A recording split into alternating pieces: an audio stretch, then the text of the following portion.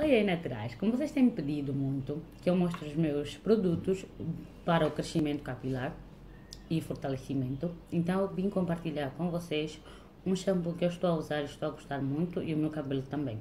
Como vocês podem ver no título, é um shampoo de alho e canela. Então, os ingredientes são azeite extra virgem, eu estou a usar galo, Shampoo de preferência sem sal. Eu estou a usar este aqui, que é uma marca francesa.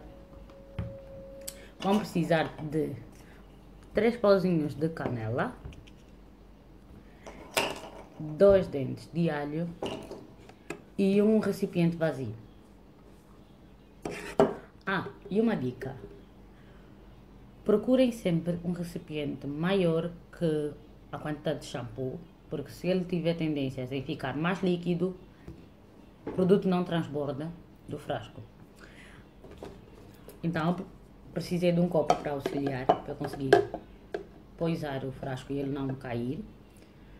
E, então, eu vou cortar em pedacinhos, em três pedaços o alho, para conseguir pôr aqui dentro.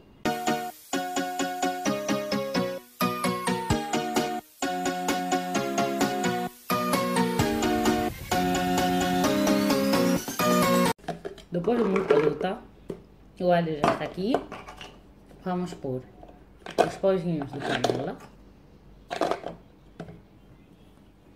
Depois dos pauzinhos de canela, nós vamos pôr o shampoo.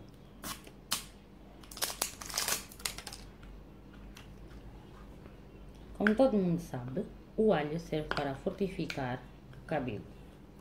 Só que ele tem um cheiro um quanto peculiar mas garanto a vocês que o cheiro não ficará no cabelo como nos tônicos de alho e coisas parecidas, porque ele tem um cheiro muito forte, mas depois de tratar o cabelo, tu não, nem vais notar que o alho estava no shampoo. Temos mesmo que retirar todo o produto do do frasco, porque nessa crise não há tempo para desperdício.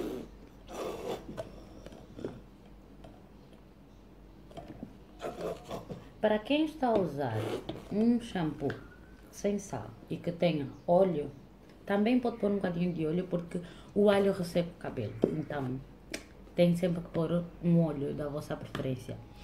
Eu estou a usar azeite, como eu já tinha dito, porque não tem um outro óleo no momento, mas vocês podem usar qualquer óleo vegetal da sua preferência.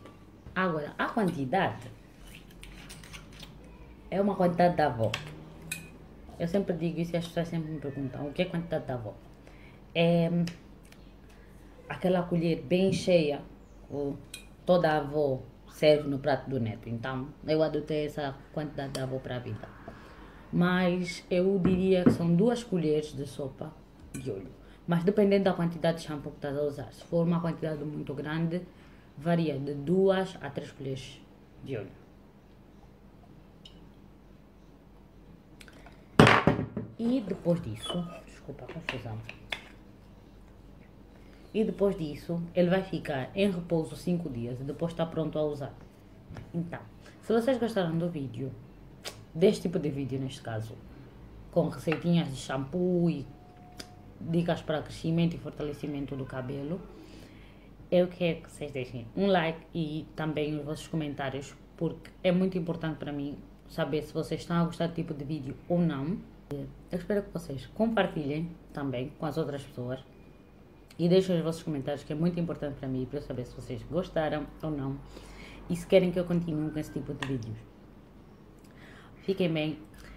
Obrigada e beijinhos.